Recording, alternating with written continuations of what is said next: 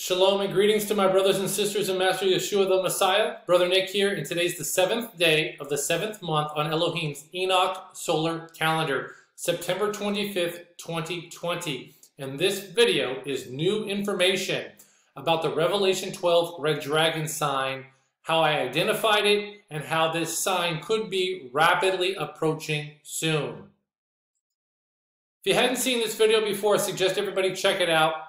The Revelation 12 sign was called a great wonder in heaven, and after the rapture didn't happen, it left us all wondering.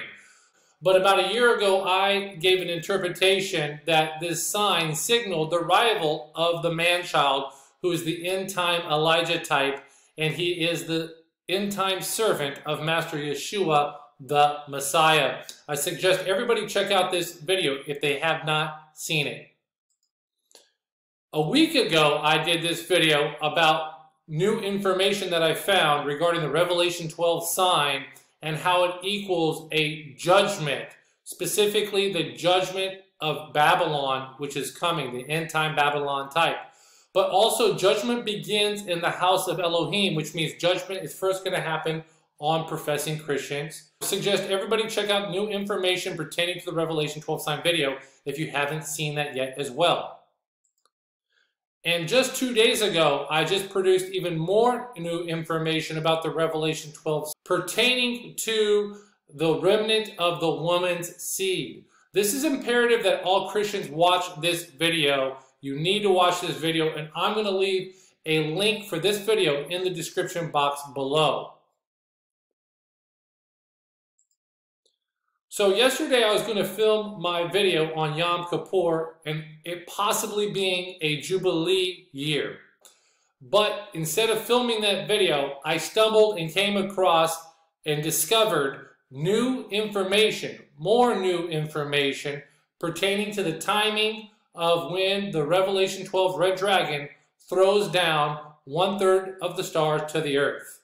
And it could be happening soon.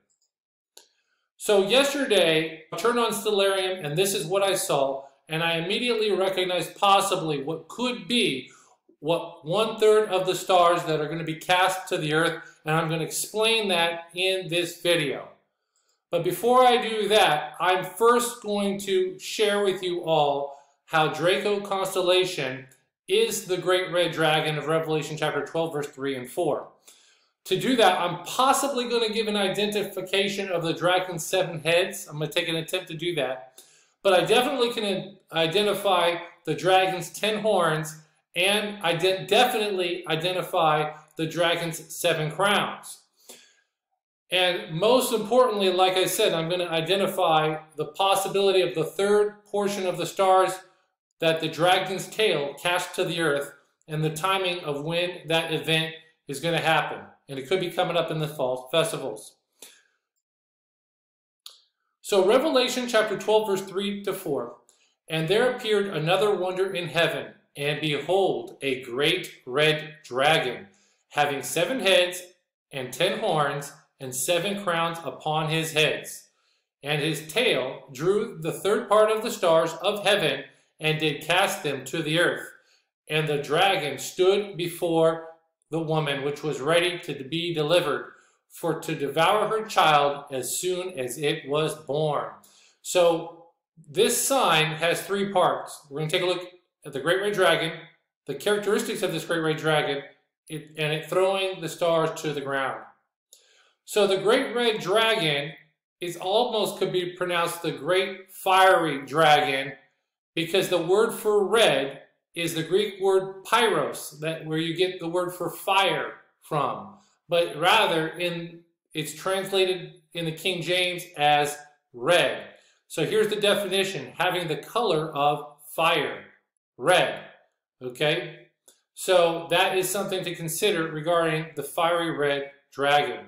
And one of its stars here in its head is this orangish fiery color and they blink and when you take a look at stars, they're flashing like fire. So that's something to consider when you take a look at blinking stars, flashing stars, they flash as fire. In, for that word pyros, it only appears two times in the New Testament, And what's very interesting about it, not only does it describe the great red dragon, who's Satan, but it also is the same word used to describe the color of the red horse. So the red horse is the second horse, and that horse is also fiery.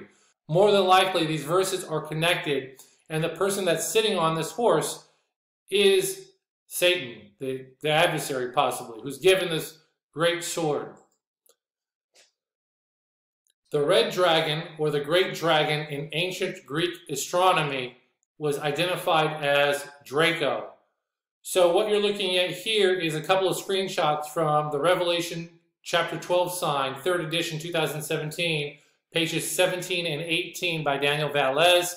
In this article, he uses a couple of Wikipedia sources that Aratus, who is a Greek, who is a Greek poet from 276 BC, one of his most well-known works, which was called The Phenomena, it's a poem about the constellations. And actually, Paul quoted a, a line from this poem in Acts chapter 17, 28.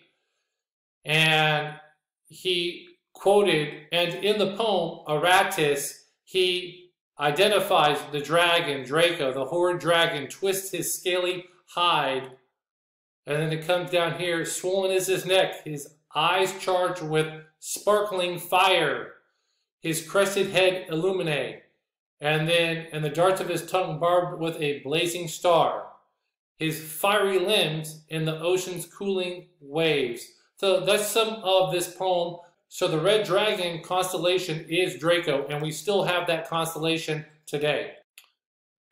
Here outlined in yellow is the great red dragon. And you might be saying this doesn't look so great, but actually in real life, the constellation appears huge. And it especially appears huge when its head is close to the horizon. When it's below the North Pole star, Polaris, so the seven heads of the dragon, I'm going to possibly identify this sign, but I definitely can nail down the two other parts of the red dragon clues in this. Here's a picture of Virgo, the constellation Virgo with her head, and above her head was a crown of 12 stars. And here is the dragon, and here is its head. Now you might be saying, Nick, there's only one head, but the scripture says seven heads. I agree. But this is where I'm going to try to stretch this one a little bit, but we do know that this constellation from 2,000 years ago, or beyond over 2,000 years ago, this was always the dragon, the serpent, and so when John wrote about this in Revelation, everybody knew this constellation. So the seven heads, is, it might seem like a stretch, and I would suggest possibly stars. You're going to say, Nick, well, there's only four stars here. But eh, I would say that those four stars could represent heads. But what's interesting about these four stars is several of these stars are actually binary stars. So let me go ahead and count these stars in Stellarium.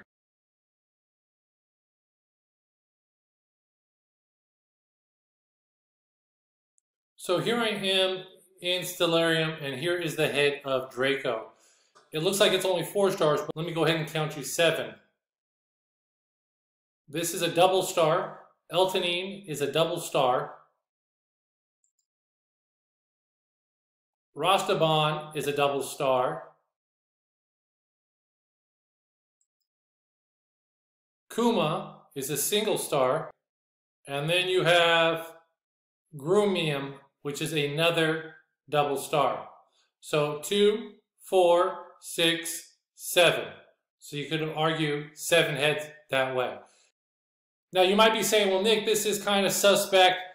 Well, we know that Draco is the dragon from Aratus' poem and from other texts that are out there regarding ancient astronomy. But what I can do for sure is prove to you the ten horns of the dragon as well as what I understand, I can also prove to you the seven crowns. So let me show you that right now. So now that I've counted the seven stars for you in Stellarium, now it's about the ten horns of the dragon. And if you look at a lot of uh, artist renditions of dragons over the ages, they all have horns on their spine, on their back, sticking out.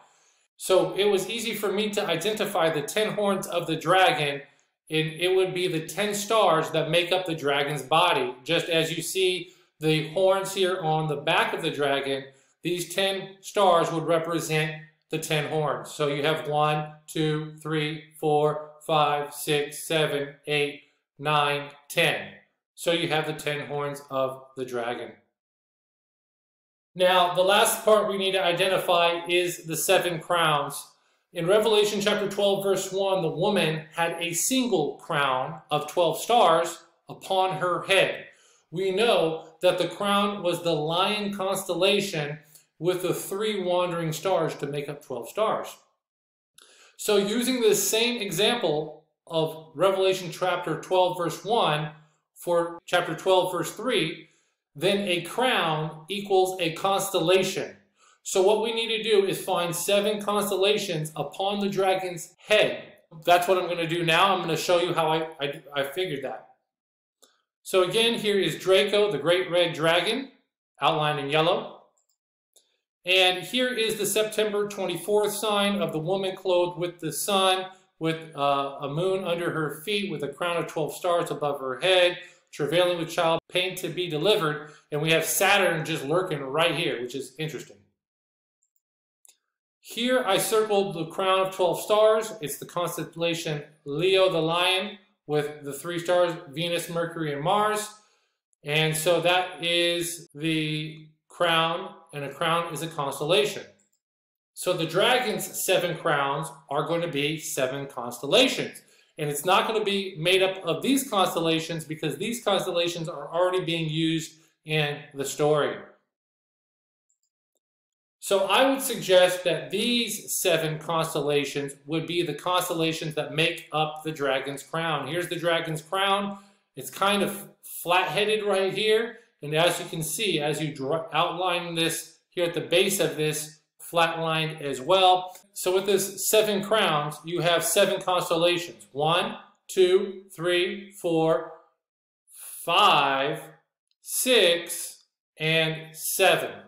So you could see how the dragon was waiting to devour the child as soon as it was born.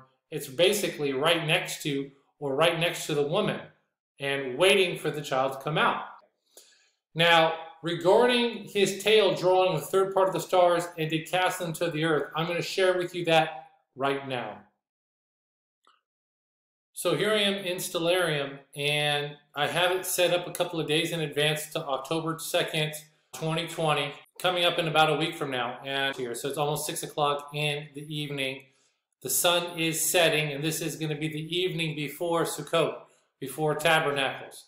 And here's Draco the dragon right here. The great red fiery dragon is right here. This is the North Pole star, so everything's going to rotate about around the North Pole star.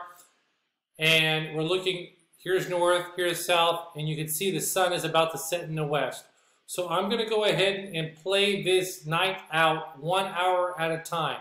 And what you're going to see, we know that the dragon's tail threw a third of the stars to the earth. So I'm going to go ahead and start playing this, and this is what it's going to look like on this night. So the sun has set, and now the dragon is spinning. And as it's spinning, you can see what's following it here. And there you have it. This is Draco's tail now facing south. And around 5 a.m. in the morning, this is 5 a.m., in the morning on the 3rd, this is what you're going to see in the night sky. You're going to see meteor showers coming from the northern Taurids, the Andromedids, the autumn Arietids, the southern Taurids, the Orionids, the Arugids, and the Sextantids. So this is what you're going to see on the evening as heading into the first day of Tabernacles. Now you're going to be saying, Nick, this isn't a third of the stars. These are just some constellations, some meteor showers coming from various constellations that you see. But what I want to do is now I'm going to put on the equatorial grid and you can see it has the North Star, the Polaris North Pole Star right here. So each quadrant that you see represents 10 degrees. And so it's a complete sphere, so there's 360 degrees. So there's 36 squares, and each square represents 10 degrees. I'm going to go ahead and start with this part of Leo because these sextantids look like they could shoot forth from here. So I count one, two, three, four, five, six, seven, eight, nine, 10, 11, 12. So this whole part of the sky, starting with this quadrant that Leo is in and coming all the way over to this part, this quadrant right here, that's 120 degrees of sky. That's 120 degrees is one third of 360 degrees. So you are seeing a third of the stars, the dragon's tail, kicking a third of the stars to the earth. So I hope you like this explanation of the 120 degrees or the one third of the stars that are being cast to the earth. Very important regarding this one third of the stars, not only does it stop right here at the ecliptic, but there's also stars underneath here. You have Orion, you have all of these constellations, and I'm sure and I'm going to be touching base with Orion. You have Cetus, which is the sea beast right here. And then you have the river constellation right here. So I hope you like my interpretation of the third of the stars that are being cast to Earth, the meteor shower that's going to take place in this 120 degrees of sky. Hopefully, this is this more than likely is the correct interpretation. Is it going to happen this year? I don't know. These meteor showers happen around the same time every year, even on the Gregorian calendar. So this could happen next year, could happen the year after. This would also have happened during the fall festivals in 2017 as well. This is what I understand to be one third of the stars being cast by the dragon's tail to the earth. So I hope you like my explanation of Revelation chapter 12, verse 3 to 4. I believe that this is a almost complete understanding of it. I think that the ten horns, I think I nailed it. As far as the seven crowns upon his head, just like the constellation Leo was a crown upon the woman's head. So we're looking for seven constellations on top of Draco's head. I think that nailed it as well. And then as far as his tail drawing a third part of the stars of heaven and casting them to the earth, I believe it's going to be that 120 degrees of sky that you saw that is taking place around Sukkot during the Feast of Tabernacles. I believe that this is a pretty accurate interpretation of it. So hopefully you like my new information regarding the red dragon of Revelation 12. So I'm signing off and shalom to all my brothers and sisters out there who guard the commandments and have the testimony of Master Yeshua the Messiah. Shalom to you.